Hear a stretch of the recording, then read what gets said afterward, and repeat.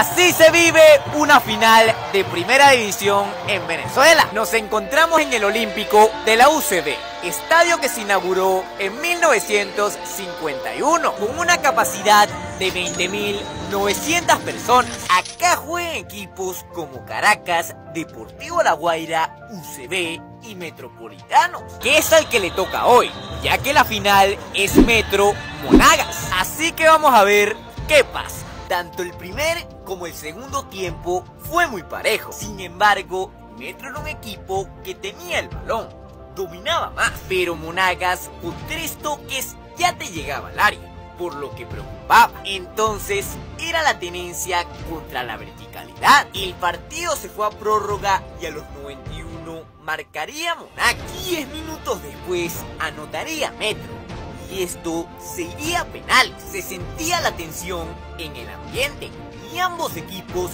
fallaron sus penales, pero Metro llegó con ventaja al final y si metían este eran campeones, si no la tanda seguía.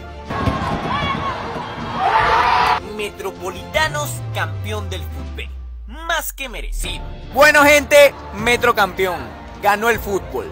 Sígueme y nos vemos.